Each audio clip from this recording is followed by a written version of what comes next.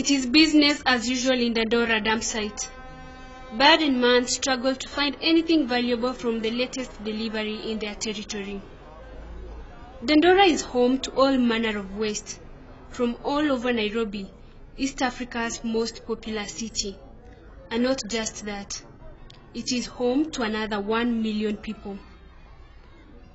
Waste and climate change may seem like separate issues, but what many do not realize is that they are actually very closely linked. Dandora dump site was declared full in 2001. 13 years later, 850 tons of waste are being deposited here every single day. Government efforts to relocate the dump site have been futile, as this is what feeds over a thousand residents of this slum. Yeah, this is our our our gold mine in Dandora. Their job, picking valuables from the dump site for sale to recyclers.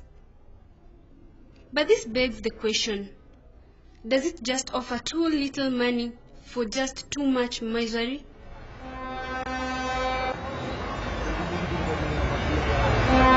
Right now I'm on a rooftop in one of the buildings here in Dandora and uh, on my right we have the Dandora dumping site which is the largest dumping site in Nairobi and it caters for the entire city. Uh, all the waste from re- residential, domestic, agricultural and even medical waste mixes all here in Dandora. And the project here is very amazing because uh, it caters for children who could suffer from gases that are being released from the landfill right here. So right now we are just going to zoom the dumping site which is of over 30 acres of land.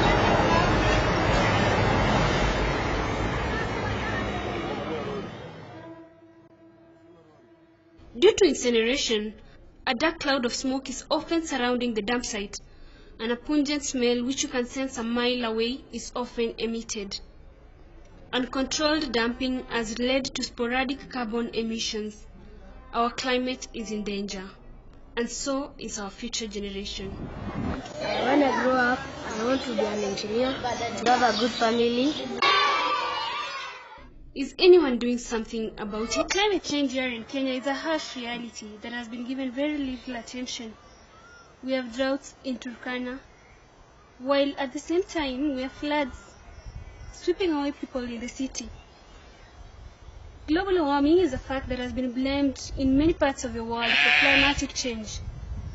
However, much as many people are aware of global warming, what they don't realize is global warming is a fact and a reality that is just in their doorsteps. Take, for example, the cars we use every day to work or to school. Dandora slums is famous for gangs that are giving the police a very hard time. It is famous for the dump site, one of the most polluted places in the world that feeds over a thousand dwellers of this Dandora slum. Welcome to Dandora slum and meet this gang with a difference that is fighting with a different tool and for a different cause to change the environment and change the climate and change the youngsters of Dandora. Meet Charles Geshaga, proprietor of Mustard Seed My chairman of the He uses this court that was initially a dumping ground as a model of the ideal Dandora. Every port, every place you have a drainage like this. No place in the north that doesn't have something. It's just a matter of unearthing them. Looking back to the starting point of this project was when politicians come and start talking so much about creative, uh, creativity of jobs, uh, and job opportunities, and which after all they score in, they never veil their promise. But little did to those they talk to be high. They come up with an idea of what they would have been done for them by the those uh, okay prominent guys, but failed. And definitely they put it in on practice, being something out of one person's vision on particularly environmental conservation. Whereas we look at the most thing government talk about uh, the basics of uh, making uh, environment become uh, habitable and niko founder wa Mustard Seed CDO. Tulikaa chini na chairman, tuko na environment yetu vile inakaa si vizuri.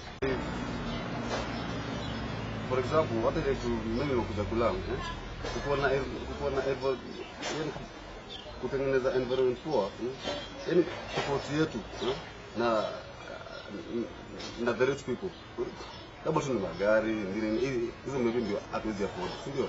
Lakini kuishi kwa mazingira safi hmm? hiyo tu ni ni nini tu ya mtu unaona, haidetermine ati na ile kazi unafanya ama nini eh? Dandora imekuwa ikikashifiwa sana, kuna drug abuse, kuna gangsters, kuna nini. Sasa sisi hatutaki tuibadilishe kwa kuwa tunaikashifu, kwa kuwa tumekaa mtu kajua wenyewe kama ni mambo na uizi na nini, Hawezi imaliza na kuua kila mtu. Juu kwa kuwa kila mtu tena utakosa tena watu wa kugava, na ndio sisi tumeleta kitu kama hii na ndio tujaribu tuombe funds kutoka all over, watu wale wanaweza jaribu kutusaidia tuutilize hizi kama ni parkings zile ziko Dandora ziweze kucreate jobs kwa mavijana. When environment is nice, then it means people are fully living. When the environment is not uh, conducive, automatically there is danger, hazards of sicknesses, airborne diseases, water and kadhalika.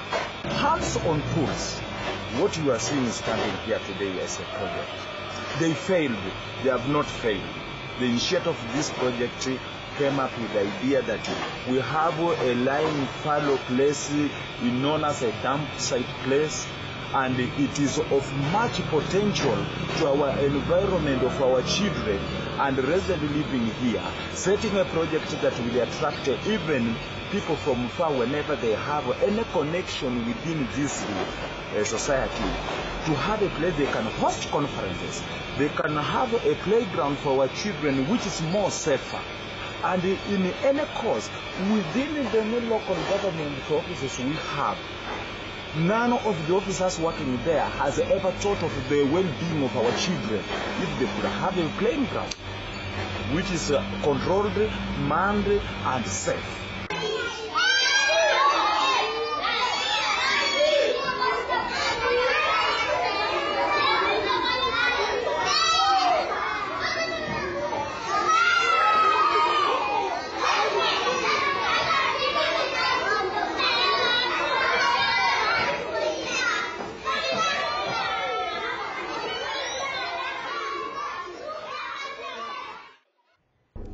story of this group is very moving to any lover of environment.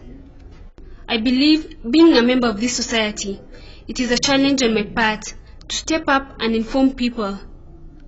Climate and environment may seem like separate, distant issues, but they are actually closely, very closely linked. I History has it that Dandora was once a clean and well organized suburb. In fact, in the early 80s, the World Bank funded the construction of drainage systems all over Dandora. But just where did the drainages go? No, it was a, it was a project of the World Bank.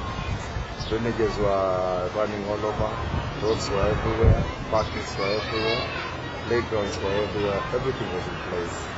But due to, let's say, maybe ignorance and time, things uh, from late 80s, things started getting, worse, deteriorating. We start losing our drainages. 1980s, we start losing our playing grounds, our parkings. Slowly but slowly until to the point that Dora is today one of the estates in, in Nairobi.